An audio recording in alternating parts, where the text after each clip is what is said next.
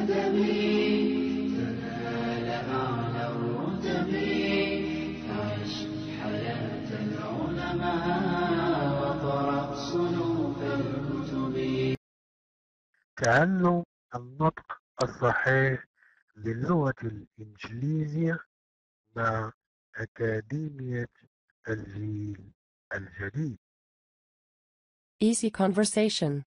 For beginners. Transportation. They were in a crosswalk near school at 3 a.m. Who? Two students from USC. What happened? A speeding car ran a red light, killing the girl. What happened to the other student? He landed on the hood of the car.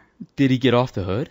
No, the car stopped and the passenger pushed the injured student off the hood. I'll bet the car continued on its way.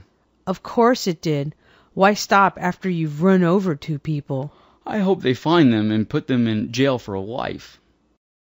They were in a crosswalk near school at 3 a.m. Who? Two students from USC. What happened? A speeding car ran a red light, killing the girl.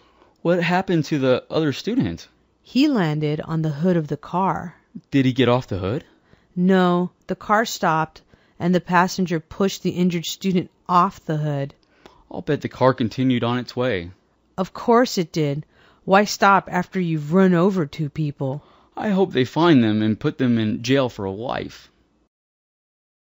نشكر الطاقم التقني لأكاديمية الجيل الجديد جزاكم الله خيرا مشاهدة ممتعة وكونوا دائما في الموعد.